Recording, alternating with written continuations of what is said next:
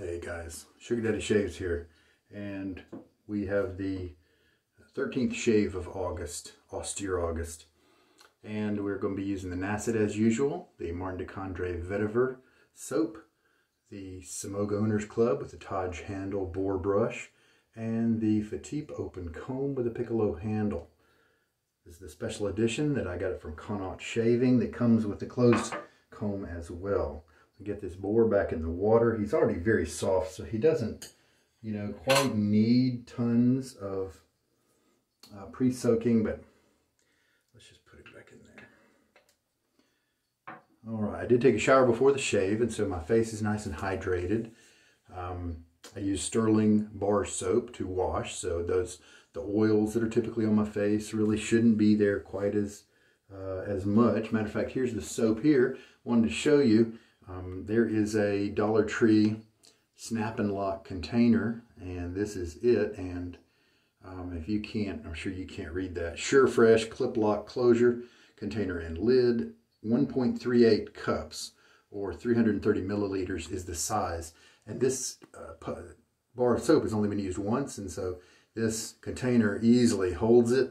There's a smaller container that will probably hold the soap after it gets reduced by a few washes just to show off a Dollar Tree product there in case you want to do that. The nice thing, and here's the top that goes on it, the nice thing about this type of container instead of those normal soap dishes is that these would be stackable if you have multiple bars of soap.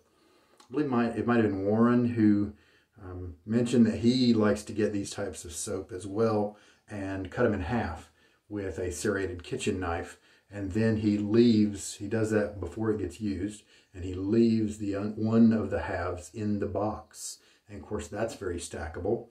And then he uses the other in his shower, and so he doesn't really need to go around, you know, um, very much.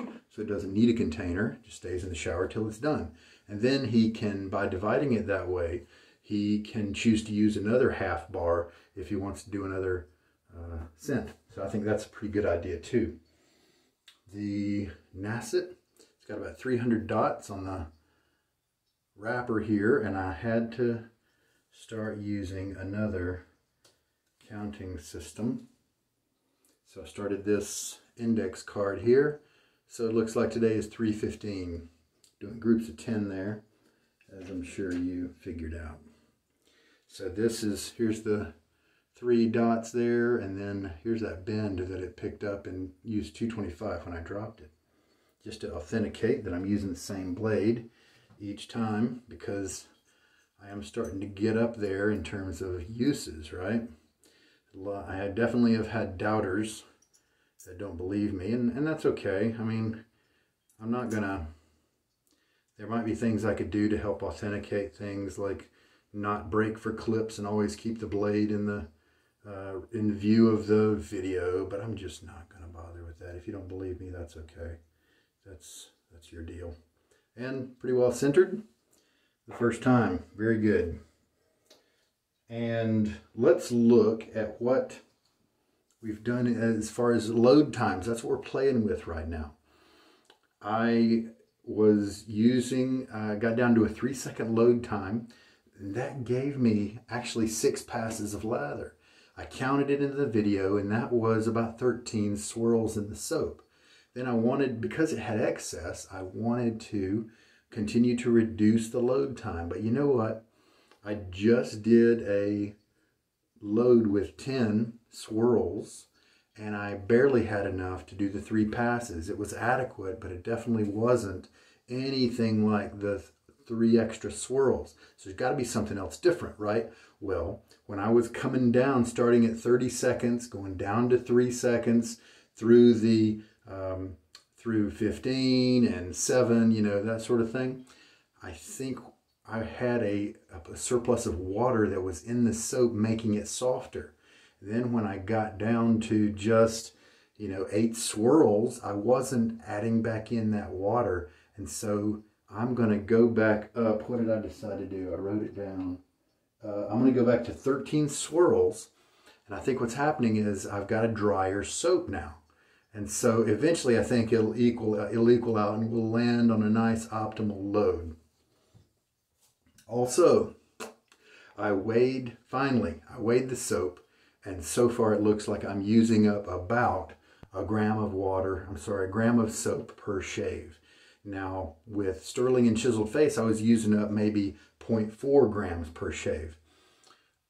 I think that's still fairly accurate here because in the beginning I was loading for 30 seconds and I had a lot of soap, a lot of lather passes left over. Uh, last couple times I have not had as many passes left over. And so I think that number is, you know, might really be in the 0.4 range once we stabilize things. Now I'm in a, a, different place. Hopefully I'll carry my scale around with me if I travel so that we can measure. Of course, the water is going to play into it, but that's why we do tests over a certain length of time so that we can eliminate that water as a variable. All right, guys, here is the top of the soap. You can probably tell it reducing gradually over time, um, but we're almost to the two week point. Uh, also, I wanted to show you um, in, a, in a different video, I showed this little uh, leatherette type case and it's made for barbers to travel with their scissors. The handles that you hold go here and then the point sticks here and it can it holds two of them and I guess these are for combs over here. Well, uh, I figured, hey, this is a good size to contain some shaving stuff. And so actually I, I traveled this past weekend and I took this with me and I took, what did I do? I put the razor into one of the things like that. Not a perfect fit, but it seems to work. And we put the uh, marker that I used to do dots with there, and then I just laid my syringe in there kind of loose, and then it did very well. Held everything nicely. It was really nice to be able to just pick this up and head to the uh, bathroom to do the shave. So uh, this was just like six bucks at a local beauty supply store. All right.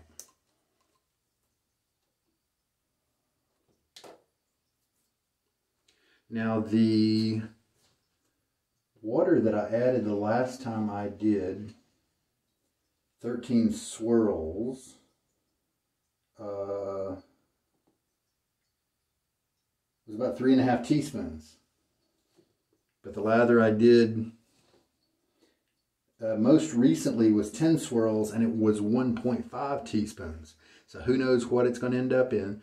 The 1.5 recently with just the uh, 10 swirls was a lather that was a little bit too wet. So hopefully we won't over wet it this time. All right, so we're going to do 13 swirls, lightly wet boar brush. Shake out much of the water. That's what I call lightly wet. And here we go, 13 swirls. All right.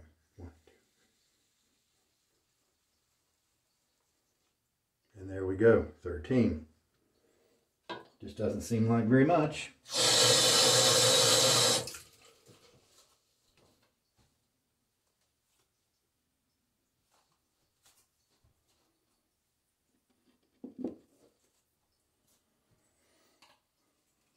It's really not. Face is very hydrated because of the shower. So let us see what kind of lather we end up with today.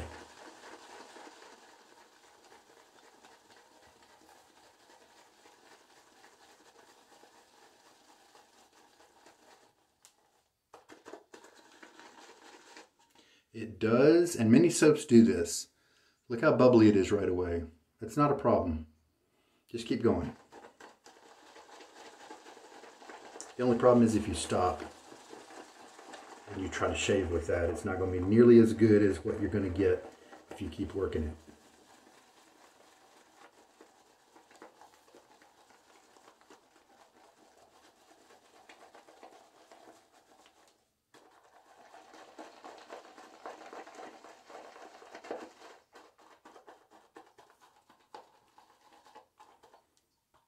Okay.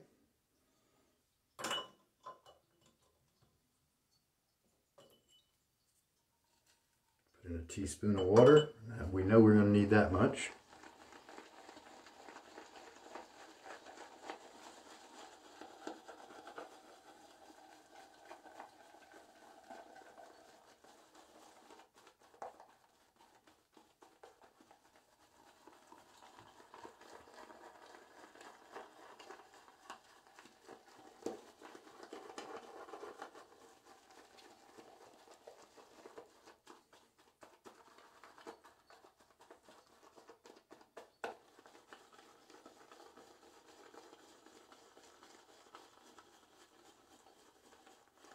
Just uh, near to this video in terms of release time is going to be another one I just did with uh, two knots I got from Omo Brush. Don't know how to pronounce that. And it did take a month and a week to get to me from China, but it got to me during these COVID days. I'm pretty happy with that time frame. I got a motherlode knot and a Manchuria finest two-band badger. Got two of those and I'm going to put them in some handles and looking forward to it. Mother load is a uh, supposed to be a super soft, about the softest they come, synthetic. All right, we have, looks like we've got a reasonable amount of lather here for three passes. Not bad. Yeah, let's go ahead and add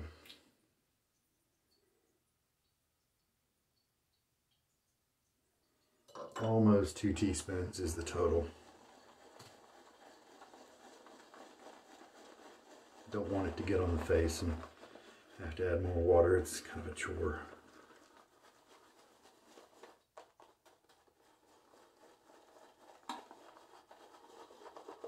This brush has been performing wonderfully. Maybe 22 uses now, something like that. It's still quite young, but there are definitely a good many split tips and still more to come. And so it's just going to get even better, softer. Display is nice. All right, guys. Um, just because I'm tired of uh, dealing with a wet lather, let's just use this and see what happens. Okay, let's just go ahead and put in. So now we can just say two, two teaspoons. I just had a little bit left before the, I can just call it two teaspoons. So let's go ahead and integrate that.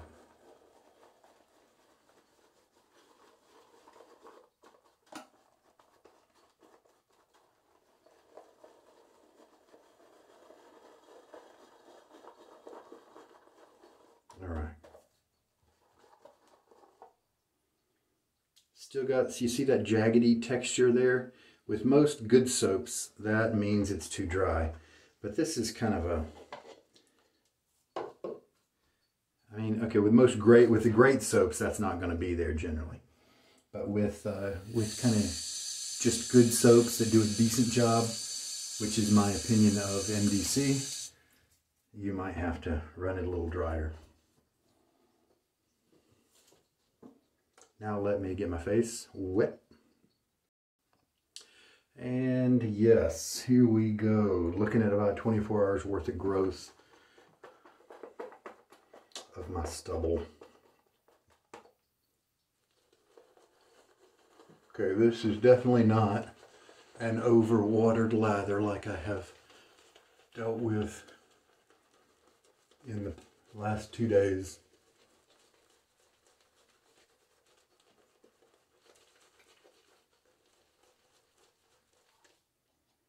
And we're definitely going to have enough of it.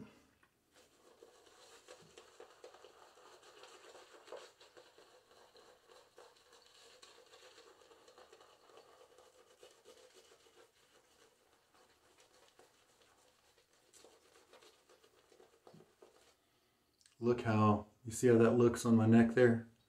Just kind of a little bit on the pasty dry side, so I'm not gonna, I'm not gonna be able to resist tweaking it a little bit.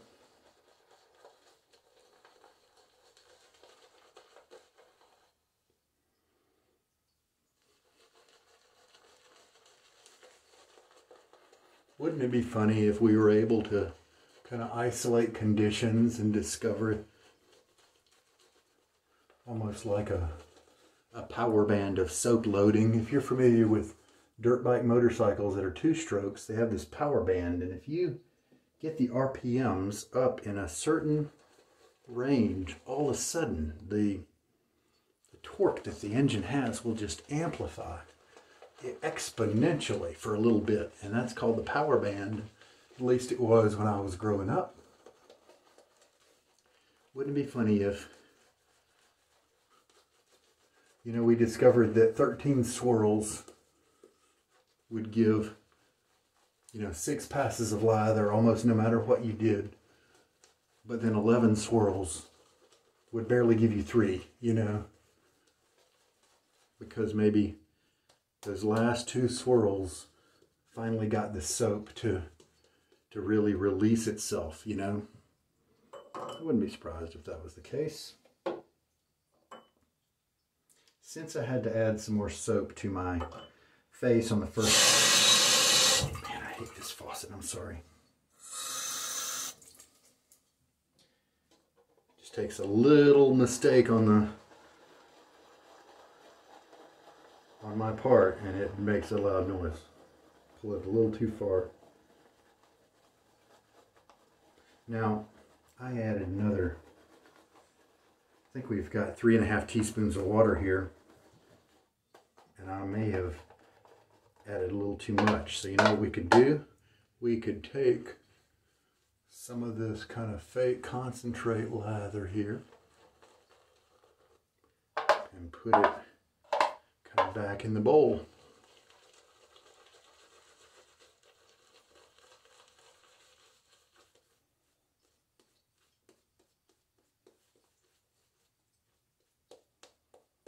there we go.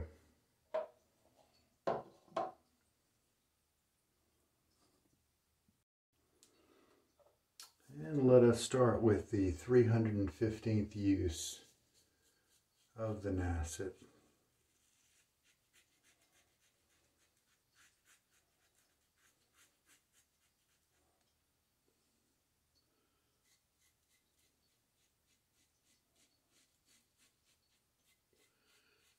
Always remember that we're not trying, at least my my style and many folks' style is not to take down the whole beard in one shot.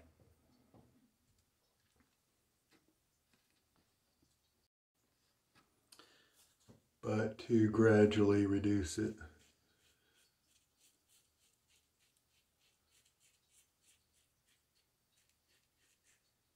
There we go. We don't need to shave in areas that don't have hair on the neck there.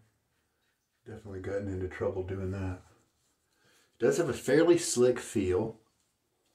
You know, when you work your hand like this and you cover over, you move over places that have lather. And so that's why it's a good soap. But there are many that eclipse it at this day and age at least in my opinion. All right, so let us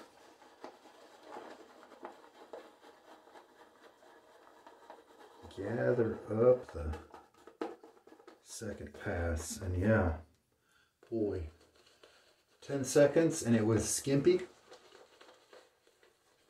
13 seconds and it is not at all and I've got, you know, who knows how many passes left in here? Three maybe still.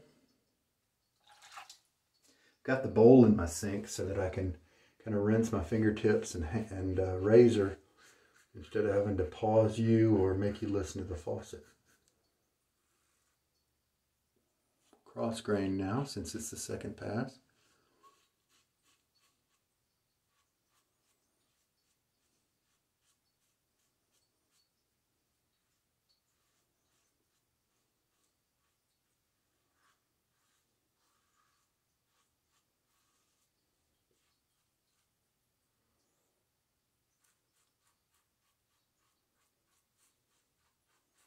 Little tuggy on that first pass, but comfortable, no problem now.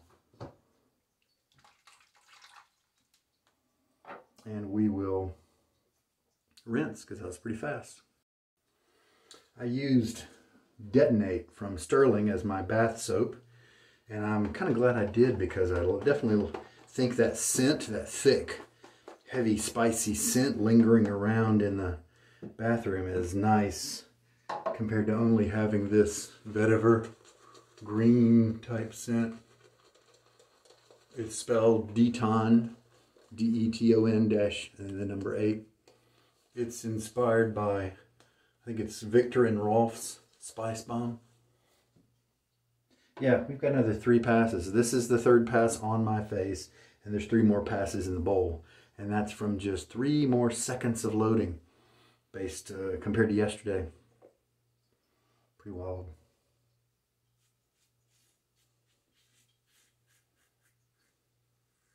Got a nice cut. I can feel that the razor is just gliding across my my skin, not really cutting too much at this point because so much of that was already done. So this is kind of just a touch-up pass. And I can go cross grain on my neck here.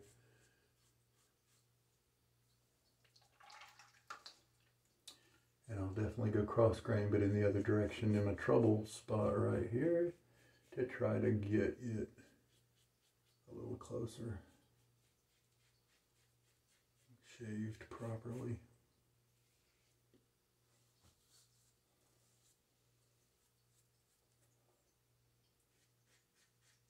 Put a little, this soap is not good enough to offer a lot of residual slickness, and so I definitely recommend kind of relathering. You can just use your fingers like I did for smaller areas, or if you need to kind of relather a whole, you know, neck section like that, just get your brush out and flap, flap, flap. All right, full rinse. So there we go. That was a plentiful amount of lather provided by 13 seconds of loading. So you know what I could do? Because the, the water in the soap maybe would have stabilized based on uh, the shorter type of loads. I could try 10 tomorrow, see if it performs, gives me the same lather as the 10 from yesterday. It'll be fun to try out. For me, ha. If you're not analytical, you probably tuned out of my channel anyway, right? Three and a half teaspoons of water is what went with that 13. Swirls on the soap. And we've cleaned up several things here. Let's uh, use the balm. And this month I'm using Soap Commander Integrity. And this is, they're unscented. And this particular one is menthol free.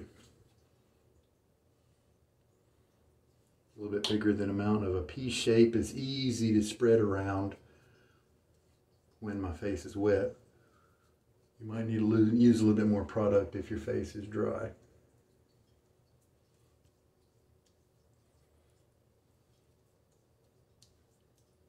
There we go. Good performer there if you have dry skin. So that's 315 in the books. All right, guys. Hey, for those of you who have been thinking of my son who got bitten by a copperhead recently, a couple weeks ago, I guess now, he is doing well. He, uh, in many cases, doesn't really wear his bandage. He got bitten in the middle finger and a large blister was developed right there and it has gone away and there's kind of an indentation now with uh, you know where several layers of skin were kind of have kind of gone away and it's kind of a little gruesome but he is he's taking it um, uh, nicely and he's even using he's starting to use now his pointy finger and thumb in playing with his tablet and uh, and other things. And he's not using his middle finger yet. He says he's not really moving it very much, and I can totally sympathize with that because uh, because it's so damaged, uh, purple and bruised in many cases, and black in some places. Uh, but it is getting better. The swelling is getting better and better each day. Pain is managed in normal medication like ibuprofen and Tylenol and all that. So he's on the mend and doing well. Uh, thank you for those who have um, wished him well. So the vetiver was a nice uh, complement to the spice bomb. So if uh, if I had that detonate as a balm or aftershave splash, that might be a nice follow-up if I was uh, if I liked the vetiver scent of this soap and wanted to use it a lot. All right. So there we go. Happy with the shave. Very comfortable. Nice close shave too no nicks or irritation or anything like that. And that's also another reason why I use cooler water, lukewarm water, whatever comes out of the cold tap. In the winter, it's cold. but in the summer it's kind of lukewarm. And uh, I find that refreshing. I find that soothing if I do happen to have a little bit of razor burn. Boy, that cold water just does a great job. All right, guys, well, I think that's it for today. Uh, I hope that there's been some good in this video to help you out. This is Sugar Daddy Shaves. You take care. Good night.